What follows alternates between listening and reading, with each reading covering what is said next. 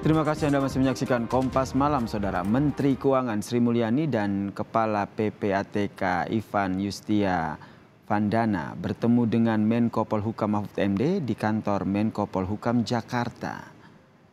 Kedatangan Sri Mulyani dan juga Kepala PPATK ini terkait dengan dugaan transaksi janggal 300 triliun rupiah di Kementerian Keuangan yang diungkap oleh Menko Polhukam Mahfud MD setelah mendapat informasi dari PPATK.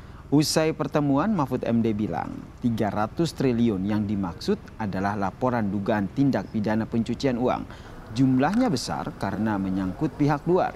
Misalnya pencucian uang meliputi kepemilikan saham pada perusahaan atas nama keluarga, kepemilikan aset atas nama pihak lain dan juga menyembunyikan kejahatan di safe deposit box.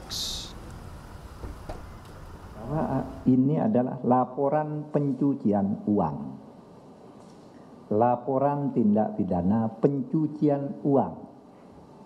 Ya. Memang jumlahnya besar.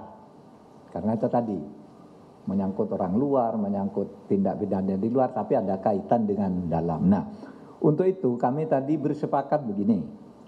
Satu, Kementerian Keuangan akan melanjutkan untuk menyelesaikan semua LHA. LHA itu laporan hasil analisis yang diduga sebagai tindak pidana pencucian uang dari PPATK baik yang menyangkut pegawai di lingkungan Kementerian Keuangan maupun pihak lain.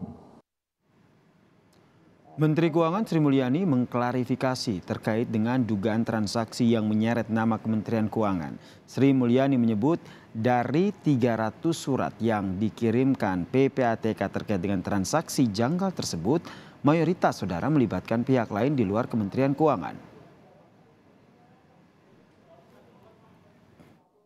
Dari 300 surat tadi, 65 surat adalah berisi transaksi keuangan dari perusahaan atau badan atau perseorangan yang tidak ada di dalamnya orang Kementerian Keuangan. Jadi ini transaksi ekonomi.